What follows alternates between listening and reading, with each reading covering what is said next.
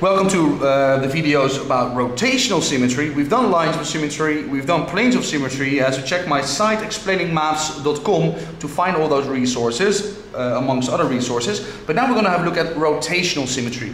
Now what is rotational symmetry? It is if you turn an object a full turn, yeah, so 360 degrees, how many times does it look the same? That is rotational symmetry. Now, what did I, do I mean with that? Let's say I have this square here, yeah, so four sides, they're all uh, equal in length. I just very quickly cut that, so it's not actually a square, but let's pretend it's a square. Let me just put um, four of these crosses here. Okay. And I'm going to turn it a full turn and you're going to count with me how many times it looks the same as it does right now. Okay, so one and two and three and back in its original position four. Yeah, so you always count the original position. So it looked the same as its starting position four times. Then we say that the order of rotational symmetry, so the order of rotational symmetry is 4. Yeah? So rotational symmetry of order 4 because in one full turn it looked one, two, three, four times the same.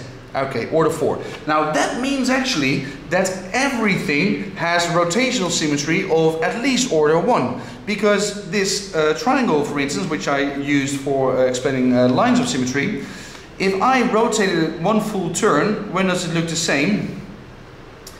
When does it look the same? When does it look the same? Yeah, now back in its original position. So everything, or this triangle and everything else, has at least rotational symmetry of order 1. But then sometimes we say, well, it doesn't have rotational symmetry, yeah? Because order 1, everything has rotational symmetry of order 1, okay? So please um, uh, be careful, by the way, if this would be an equilateral triangle, let me quickly uh, let me quickly cut an equilateral triangle for you. Eh? So all three sides are equal in length. It's an equilateral triangle. What is the order now?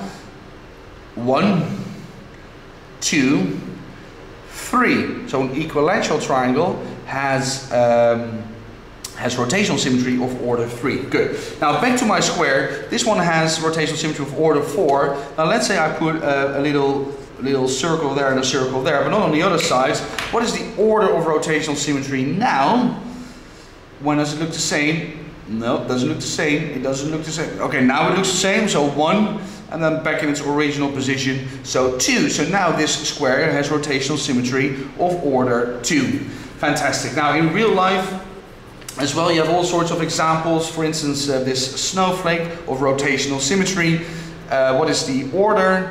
Well, if I would turn it a full turn, uh, one, two, three, four, five, six, it's going to look six times the same. Yeah. Have a look.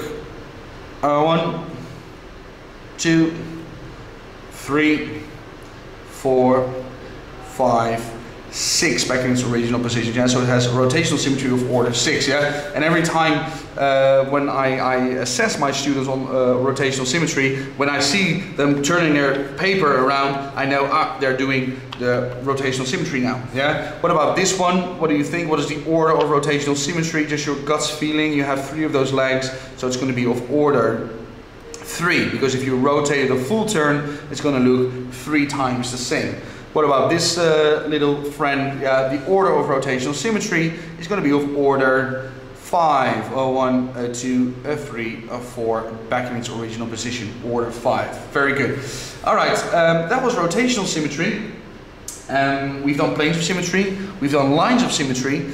Now I have one more video left where we're going to have a look at regular polygons and the amount of lines of symmetry they have and their order of rotational symmetry because it's good to have an understanding of regular polygons and their symmetry properties. Okay, I'll see you at the next video. Like and share if this was useful so I can help your friends too. And uh, go to my site explainingmaths.com for all the resources you need to understand maths a bit better. I wish you a good day. Bye bye.